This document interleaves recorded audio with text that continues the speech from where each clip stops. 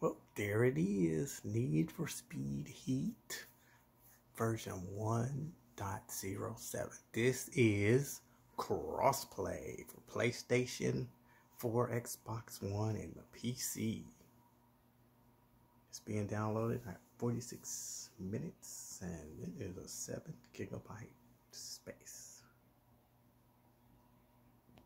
I don't know. I might be coming back to Need for Speed if it's on crossplay. Maybe I wonder if there's gonna be a lot of people playing now since it's doing that crossplay.